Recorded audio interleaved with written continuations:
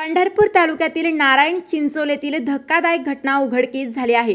केवळ दोन तासापूर्वी जन्मलेल्या नवजात पुरुष जातीच्या बाळाला रस्त्याच्या मधोमध सोडून मातेने पलायन केले होते.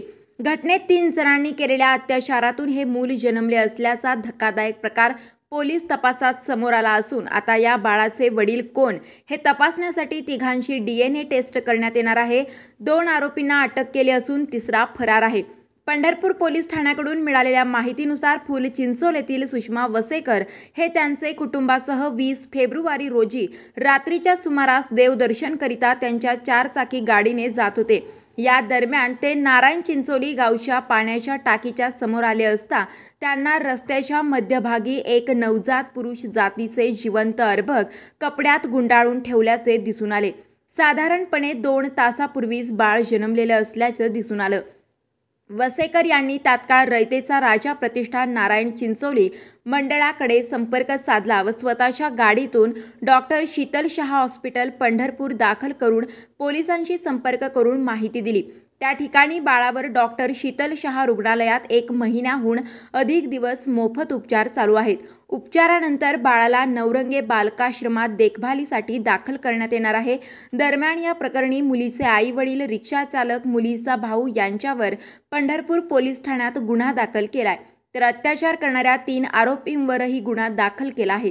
या प्रकाराने एकच खळबळ उडाली आहे. अल्पवयीन मुलीवर अत्याचार करणाऱ्या दोन आरोपींचे जन्मलेल्या बाळाचे व जन्मदात्या मातेचे डीएनए तपासण्यासाठी पुणे येथील प्रयोगशाळेत पाठवण्यात आले आहेत या प्रकरणात संबंधित लोकांना अटक केल्यानंतर त्या लहान बाळाची आई अल्पवयीन असल्याचे उघड झाले. मात्र त्या अल्पवयीन मुलीबरोबर तिघांनी वेळोवेळी शारीरिक संबंध ठेवले होते.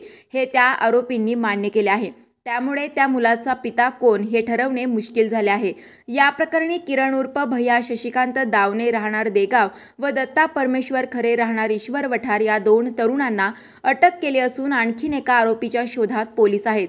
तसेच बाल लैंगिक अत्याचार प्रतिबंधक कायद्यानुसार तिघांविरुद्ध गुन्हा दाखल करण्यात आला आहे. फेब्रुवारी दोन हजार बावीस रोजी रात्री साडेदहा वाजता मला एक बातमी मिळाली.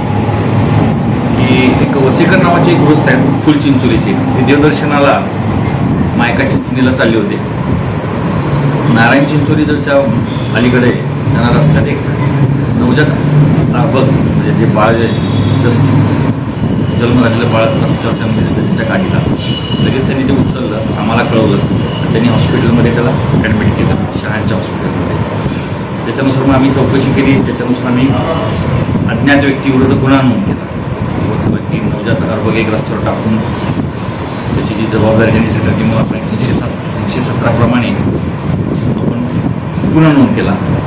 त्या गुन्ह्याची आता तपासंती आम्हाला आपल्या तालुक्यातलं जे गाव आहे त्या तालुक्यातली जी मुलीची डिलिव्हरी झाली त्या मुलीचं वय आपल्याकडे आहे सतरा वर्ष सात महिन्याचे आहे. त्या मुलीचे ज मुलाला एक जन्म दिला आणि घरच्यांना माहीत सुद्धा आई वडील आणि ज्या रिक्षेत नेत होते त्या रिक्षे रिक्षेवाला आणि त्यांचा भाऊ या सर्वांच्यावर आम्ही त्याप्रमाणे गुन्हा नोंदवला सतरा वर्ष सात महिने असल्यामुळे आम्ही त्याप्रमाणे तसा तो परत दुसरा मग आम्ही त्या मुलीचं स्टेटमेंट घेतलं. आणि त्याच्यानंतर आम्ही पोक्सोप्रमाणे आम्ही गुन्हा परत नोंद केला. त्या तपासांती असं समजलं की त्या मुलीला जे दिवस गेले होते ते त्यामध्ये पहिला आम्ही किरण दावणे नावाचा जो आरोपी आहे देगावला राहणारा तिचं नाव आम्हाला त्याने सांगितलं. तिची पीडित मुलगी आहे तिने. त्याच्याकडे विचारपूस केली. तर त्यांना सुद्धा तिचे अत्याचार करण्याचे सांगितले. परत आम्ही त्या मुलीला विश्वासात घेऊन चौकशी केली असता दुसरा एक आम्हाला दत्ता खरे राहणार ईश्वर वाटा ह्याची पण माहिती मिळाली की ह्यानं सुद्धा तिच्यावर अत्याचार केले. आता ह्या दोघांच्या चौकशीत सुद्धा आम्हाला आता तिसरा एक आता एक तिसरा एक आरोपी आता निष्पन्न होतोय. या दोघांची आम्ही पोलीस कस्टडी घेतली. मान्य न्यायालयाने त्यांना आता जामीनला मंजूर केला. चार दिवस आपल्याकडे होते. त्या चौकशी दरम्यान आपण त्यांची डी एन ए टेस्ट पण करून घेतली. हे जे मूल कुणाचं आहे? मुलाचा खराब बाप कोण? ते डी एन ए टेस्टवरून समजतं. तर ह्या दोघांची मी डी एन ए टेस्ट करून पुढलं मी कारवाई करत आहोतच. आणि हा तिसरा जो आरोपी आहे त्याचं सुद्धा आता शोधकामी आमची आता टीम एक बाहेर गेलेलीच आहे.